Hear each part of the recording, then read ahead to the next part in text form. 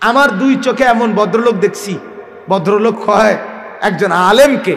কহজুর আপনারা মানুষগুলোকে কবরের আজাবের মিথ্যা ভয় দেখিয়ে আর কতদিন বোকা বানায় রাখবেন? এরম ডাকাইতে আমি দেখছি। এমন জানোয়ার আমি নিজে দেখছি। ওটা ভদ্রলোক। বান্দা, শোনো, তোমার অন্তরের ভিতরে অন্তরের মণি কুঠুরিতে, ভেতরে তুমি যে কল্পনা, কামনা, বাসনা, যে আকাঙ্ক্ষাগুলো তুমি লালন করো, আল্লাহ বলেন, ওইগুলো পূর্ণ আমি জানি। অতএব তোমার অন্তরের গহীন কুঠুরির গোপন বিষয়গুলো আমি জানি, আমার থেকে আড়াল করতে পারবা না। অতএব তোমার উচিত আমাকেই ভয় করা। দুনিয়াবাসী না জানে না, আপনার আমার ভিতরের কল্পনা। ঠিক কিনা বলেন না? আপনি রাস্তার নারীকে দেখে কি কি ভাবছেন? এটা আমি না বুঝি নাই। আল্লাহ বুঝে নাই। কথা বলেন না কেন? আপনি উলঙ্গ ছবি দেখে, নর্তকীর নাচ দেখে কি কি কল্পনা করছেন, অসভ্য কল্পনা? এটা দুনিয়াবাসী না বোঝে নাই। আল্লাহ বোঝে নাই?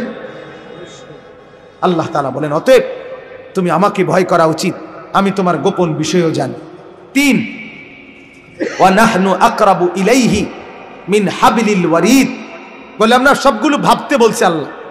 তিন নাম্বার, আল্লাহ তালা বলেন, রক্তের সারা দেহে যেই শিরা, উপশিরা, এটা যেমন তোমার দেহের সাথে মিশে আছে, অস্তিত্বের সাথে মিশে আছে, সারাক্ষণ তোমার দেহে আছে, আল্লাহ তালা বলেন, আমি রব্বুল আলমিন তোমার সারা দেহের প্রবাহমান শিরা, উপশিরা, রক্তের শিরা, উপশিরা সবগুলো চাইতেও সারাক্ষণ আমি তোমার তার চাইতে বেশি কাছে থাকি, কাছে আছি, অতএব তোমার উচিত আমাকেই ভয় কর। আমি আড়াল হই না। আমি ঘুম যাই না। আমি বিশ্রাম করি না। আমার কাছে রাত দুইটা, দিনের দুইটা বরাবর। নওজোয়ান রাত দুইটায় তুমি ডানে বামে তেকিয়ে দেখছ, মা ঘুমায় গেছে, বাবা ঘুমায় গেছে, পাড়াপড়শি ঘুমায় গেছে, কেউ জেগে নাই।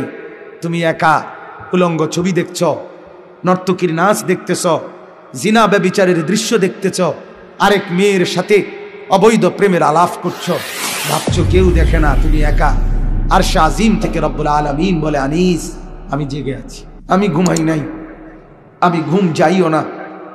আয় আমার বান্দা। আমাকে সামনে রেখে এত বড় গুণা কেমনে করছ আমার কাছে কি তুমি আসবা না? আমার কাছে কি হিসাব দিতে হবে না, বান্দা? তুমি কি মরবা না? তুমি এতটাই ভুলে গেলা? এরপরে আল্লাহ তালা বলেন, চার নম্বর ইদিয়া তালাক্কাল মুতালাক্কিয়ানে। আনিল ইয়ামিনে ওয়া আনিস শিমালি কাঈদ, বান্দা। এরপরে ভাবো তো জানো, তোমার ডান কাঁধে, বাম কাঁধে চব্বিশ ঘণ্টা আমার দুইজন ফেরেস্তা বসা আছে। তারা তোমার জিন্দিগি রেকর্ড করছে। অতএব তুমি আমার থেকে আড়াল হবা কীভাবে? তোমার উচিত আমাকেই ভয় মানে এই কয়টা হলো? চারটা। এক, আমি তোমাকে বানিয়েছি। উচিত আমাকে ভয় করা। আমি তোমার অন্তরের ভিতরের গোপন বিষয়গুলোও জানি। তোমার উচিত আমাকে ভয় করা। আমি তোমার চব্বিশ ঘণ্টা তোমার দেহের অস্তিত্বের চাইতেও কাছে থাকি, তোমার উচিত আমাকেই ভয় করা। আমি আল্লাহ তোমার ডানে বামে দুইজন ফেরেস্তা চব্বিশ ঘণ্টা রেখেছি, তোমার উচিত আমাকে ভয় করা। পাঁচ, মা ইয়ালফিজু মিন কওলিন ইল্লা লাদাইহি রাকিবুন আতীদ। আল্লাহ বলে, বান্দা, তুমি এই জবান দিয়ে যখন যেই শব্দ, আচরণ, উচ্চারণ করো একটা শব্দ বের করো, একটা আওয়াজ। আল্লাহ বলেন, ওইটাও আমি আলাদা ফেরেস্তাকে দিয়ে তৎপর আমার চৌকস ফেরেস্তাকে দিয়ে আমি আলাদাভাবে চব্বিশ ঘণ্টা সংরক্ষণ করছি। অতএব এই দেহের, এই জবানের একটা অক্ষর, একটা বিন্দু, একটা গিবত, একটা শেকায়েত, একটা বদনাম, একটা কুটনামি, একটা গালিগালাস একটা গানের আওয়াজ একটা অক্ষরও তুমি আড়াল করতে পারবা না। আমি একটা একটা করে তোমাকে দেব। অতএব তোমার উচিত আমাকে ভয় করা। আমাকে ভয় করা। এরপরে আল্লাহ বলেন, পাঁচ গেল ছয়। আল্লাহ তালা বলেন মাউতি বিল হক। আমার বান্দা, এরপরে তুমি শোনো, তুমি যেখানেই যাও, ঘুরতে ঘুরতে, হাঁটতে হাঁটতে, ভ্রমণ করতে করতে লুকাইতে লুকাইতে, পলাইতে পলাইতে, মৃত্যুর থেকে বাঁচতে বাঁচতে, যত দূরেই যাও না কেন, অচিরেই নিশ্চিত শুনে নাও, মৃত্যুর যন্ত্রণা তোমার কাছে আসবেই আসবে, নিশ্চিত। দালিকা মা কুন্তা মিনহু তাহিদ। যেই মৃত্যু থেকে তুমি পলায়ন করতা, সেই মৃত্যু সত্যি সত্যি তোমার কাছে আসবেই আসবে।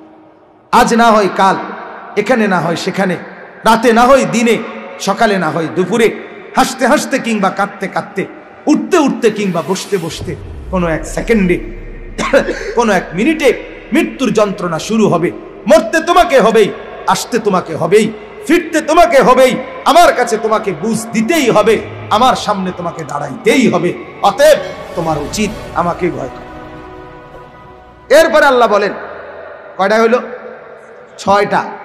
ছয়টা হয়েছে ছয়টা। এক, আমি তোমাকে বানিয়েছি। দুই তোমার অন্তরের গোপন বিষয় আমি জানি। তিন, আমি তোমার কাছেই আছি। চার, তোমার ডানে বামে দুইজন ফেরেস্তা আছে। হ্যাঁ?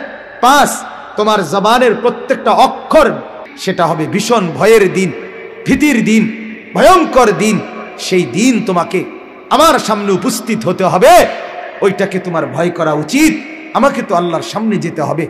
আমাকে তো আখেরাতে দাঁড়াইতেই হবে। আমাকে তো হাসরের মাঠে যেতেই হবে। অতএব বান্দা উচিত আর কাউকে ফাঁকি দিলে দিতে পারো, আর কারোর থেকে আড়াল হলে হতে পারো, আমার থেকে পারবা। ঠিক কিনা বলেন? আপনি বলেন, বাপ, এতগুলো কথা বলার পর মালিক আর কেমনে বললে আপনি আল্লাহকে মানতেন? আপনি বলেন, ভাই, একজন হইলে একজন নতুন করে ভাবেন। আর কেমনে বললে? আর কতভাবে বললে আপনি আল্লাহকে চিনতেন, নামাজ পড়তেন, হালাল খাইতেন, কন? এ যে কয়জন যুবক ভাই, কয়েকজন এখানে দাঁড়াইছেন কয়েকজন এখানে বসছেন, ভাই। আমি আপনাদেরকে হৃদয়ের সবটুকু দরদ দিয়ে আমার বাপ, আমার ভাই, আমার বন্ধু